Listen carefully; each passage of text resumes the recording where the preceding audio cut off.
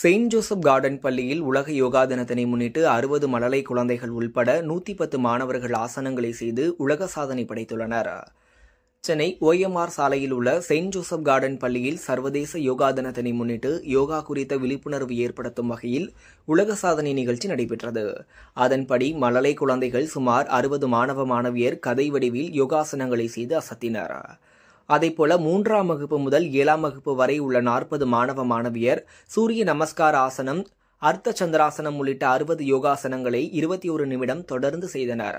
மழலை குழந்தைகள் முதல் பனிரெண்டு வயது வரை நூறுக்கும் மேற்பட்ட மாணவர்கள் யோகா செய்தது பார்வையாளர்களை வெகுவாக கவர்ந்தது.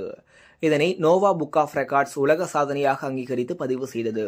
இதில் உலக சாதனை படைத்த மாணவ மாணவியர்களுக்கு நோவா புக் ஆஃப் ரெக்கார்ட்ஸ் அமைப்பின் எடிட்டர் ராஜ்குமார் இயக்குநர் திலீபன் மாநில நடுவர் நவீன்ராஜ் யோகா ஆசிரியர் சசிகலா ஆகியோர் பதக்கம் மற்றும் சான்றிதழ் வழங்கினார். நிகழ்ச்சிக்கான ஏற்பாடுகளை செயின்ட் ஜோசப் கல்வி குழும தலைவர் டாக்டர் பாபு மனோகரன் நிர்வாக இயக்குநர்கள் ஜெசி பிரியா சசி சேகர் மற்றும் பள்ளி முதல்வர் டாக்டர் சுமன் ஆகியோர் செய்திருந்தனர்.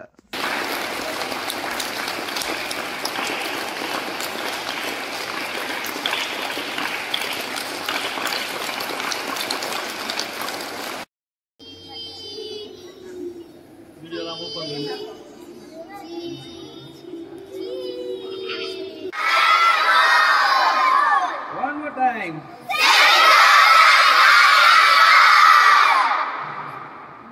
good.